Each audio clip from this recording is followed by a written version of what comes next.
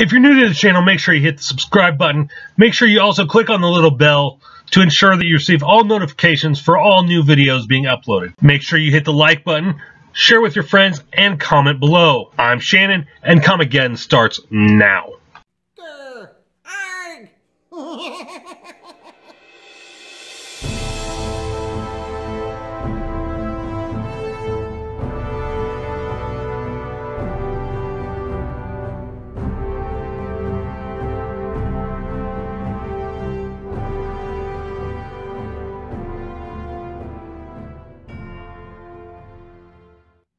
Hey guys, welcome back to Come Again. I'm Shannon, and uh, today I wanted to go over some reading recommendations. And what I've got here is Masters of the, Masters of the Universe Volume 1 by Image Comics and MV Creations. Now, as you can see, it's a fairly big stack, but there's only four issues in this volume.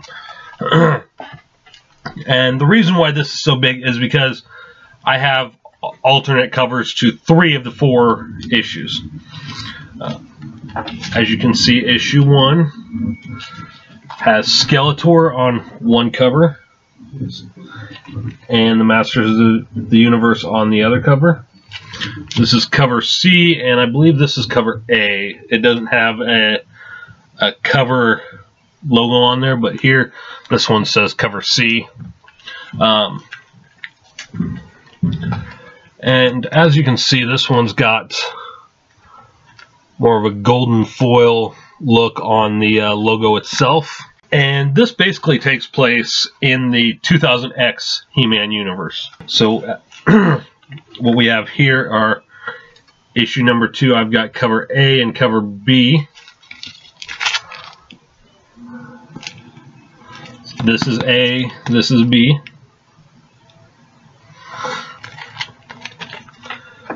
And then issue number three covers A and B.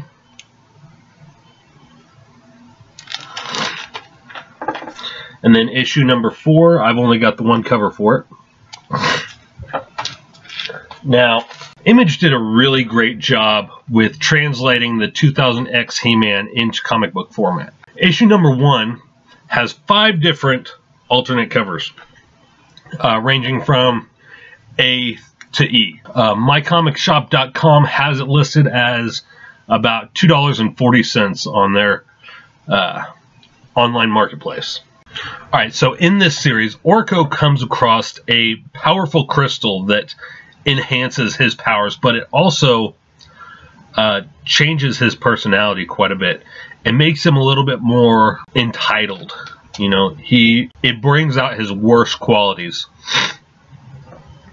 And at the same time, Skeletor is hatching a plan to obtain the secrets of Castle Grayskull, but Evil Lyn is working behind the scenes with Trapjaw, and it appears Triclops in order to gain this crystal and overthrow Skeletor and King Randor. The story itself is pretty decent. Uh, it wasn't anything that really had me on the edge of my seat. You know, most he-Man stories, you know He-Man's going to win, other than you know the most recent He-Man Thundercats titles, which I won't get into right now. But um, in the 2000X version, we know He-Man's going to win no matter what. Uh, in this volume, which is volume one, it does take four issues for him to win, but he does finally win. Issue number one also contains the first four pages of Invincible Volume One which came out about the same time as the 2000X He-Man series. I remember uh, reading Invincible Volume 1 as a digital comic on Image's website when it was released. And I knew right then and there that it was going to be something incredible. And it, sure enough, it it became one of Image's top titles. But I'll give issue number one, which came out in November of 2002, a 7 out of 10. Uh, like I said, it was a good read, wasn't anything special, um, but if you're a Masters of the Universe fan, you will enjoy it. In issue number two, which again has multiple covers, He-Man sets out on a journey to destroy the uh, mystical artifact that Orko brought them, um, as he's charged with by the sorceress. You see, eventually He-Man is accompanied by Man-at-Arms and a few others of the Masters uh, to the outskirts of Eternia uh, in order to get rid of this crystal. But chaos soon ensues when the Masters start turning on each other and fighting for the crystal. Uh, so He-Man decides to finish out the journey on his own uh, as he heads towards Snake Mountain. In issue number two, it's revealed that the crystal that Orko found that He-Man is trying to destroy is only a fragment of the Chakron crystal. He-Man is sent Snake Mountain in order to obtain the rest of the crystal in order to destroy it so that it doesn't so that the full crystal does not fall into evil hands. This fragment of the crystal in which the Masters of the Universe now possess is called the Shard of Darkness. And it's said to bring out the worst qualities of a person while also enhancing their powers. Uh, issue number two was an improvement over issue number one. Still not really anything special, but it does begin to show that, you know, no matter how good someone is, that they are still capable of evil such is the case with He-Man, Man-at-Arms, and Orko, who begin turning dark whenever they are are, are near the Shard of Darkness. I'll rank this issue as an 8.5 out of 10 stars. Issue number 3, once again with multiple covers, is it opens with He-Man um, becoming unlikely allies with Evil-Lyn, who lures He-Man into a trap in order to destroy Skeletor uh, Evil-Lyn poses as an ally, but in reality, we we all see it coming. We know that she's not really trying to help He-Man. She's not really trying to uh, join forces or anything like that. She's trying to possess the full Chakron crystal in order to defeat Skeletor and King Randor and rule over Eternia on her own. Uh, in this issue also, the Shard of Darkness finally takes possession of He-Man. And we get to see his full potential as a villain. Um, he really starts to almost transform into the anti-Eternia He-Man without the full black and red hair. Um, he, I wouldn't say he's really evil, but he he feels that he needs to rule Eternia in order to keep the people safe. And in order to do that, he needs to destroy Skeletor and Evil-Lyn and all the other evil horde. I mean, it it really goes deep into He-Man's mentality. Uh, it also makes him a lot more violent, uh, willing to kill, which we haven't really seen from He-Man before. And he's he becomes obsessed with uh, obtaining the rest of the Chakron crystal.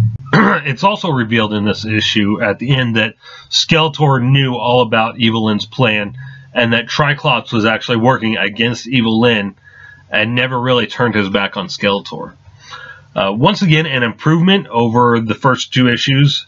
Uh, I will rank this as an 8.5 out of 10 stars um, which is about the same as issue number two. Um, the story was good. You just you could see the ending coming. Uh, it proves that even He-Man isn't powerful enough to escape the the power of avarice or greed. So in issue number four, we see Skeletor and Evil-Lyn battling it out. We also see Trapjaw begging for mercy, which is kind of a change from his Icons of Evil counterpart. As we saw in Icons of Evil, Trapjaw was more of a um, more wanting to take the power for himself and not wanting to follow Skeletor. Uh, but in this, he's kind of more or less like the Trapjaw from the Filmation version. A uh, battle ensues as Man at Arms and the Masters of the Universe uh, attempt to help He-Man by attacking Snake Mountain, uh, but Skeletor's skeletal warriors, or whatever they're called, I can't remember exactly, um, battle back. Uh, massive battle. Uh, as you can see, Skeletor has He-Man in chains, stretched out. Uh, it seems that Skeletor may have finally won, but He-Man does break his chains and begins to attack Skeletor. He does take Skeletor's Havoc Staff while Skeletor has possession of the Sword of Power. So it's kind of a role reversal. You know, normally we see Skeletor with the Havoc Staff battling He-Man, who's in possession of the Sword of Power. Now He-Man has the Havoc Staff, and Skeletor has the Sword of Power. In this scene, we see the Shakaran Crystal calling to He-Man. It's saying, He-Man, come to me, come to me. As he and Skeletor are racing to it. Um, till finally we see when He-Man touches the Shakaran crystal, inside himself, Adam is split from He-Man, and the Shakaran crystal takes possession of the He-Man personality right there. And it's more like which is which is the mightier of the two, Prince Adam or He-Man. We know He-Man possesses all the strength and power, but there's also something to be said about Prince Adam, um, who possesses the wisdom, the courage, and the humanity which makes He-Man possible. It also shows that even when Prince Adam can't transform into He-Man, he's still willing to do whatever it takes to ensure that evil doesn't win, and ends up defeating the uh, dark entity once and for all by himself. Um, he's barely able to raise the sword of power, uh, but he does end up using it to destroy the dark entity. And we come back to the real world where He-Man shatters the crystal once and for all, causing it to explode. And uh, he appears to be falling to his doom. But Man-at-Arms catches him and immediately locks him up, feeling that, you know, I'm sorry about this, He-Man, but I've got to be certain that you're not evil.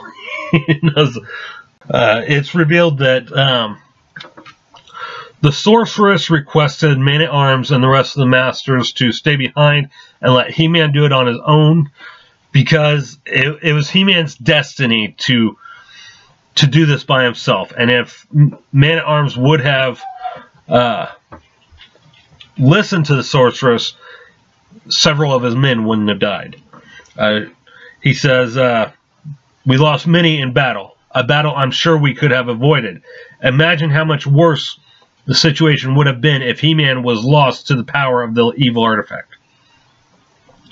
Sorceress uh, goes on to say, But He-Man did not lose, and if you had done as I requested, the lives of your men would have been spared. He-Man would have managed on his own as it was foretold. Man-at-Arms returns with, I'm not sure free falling several hundred feet would classify as managing it. You underestimate the resourcefulness of He-Man and of Adam. Uh, but we're left with one fragment of the Shakaran crystal can be seen in the pits of Snake Mountain. Um, only time will tell if it's truly gone. Um, once again, this was issue number four, the end of volume one from Image Comics. Uh, I'll be going over volume two as soon as I get the final uh, issue of that volume. I've got, well, I'll show you real quick. I've got issues one and two so far. I think there's anywhere between three to five uh, issues in this series. So I'll, I'll have to double check, but once I get all the issues for Volume 2, I will review it. Overall, I will give Volume 1 a an 8 out of 10. Uh, it's a good story, good read. If you like Masters of the Universe, you'll want to pick this issue, this volume up. Uh, like I said, for collectors, there are variant covers. And uh, so, yeah, uh, I hope you guys enjoy and stay tuned.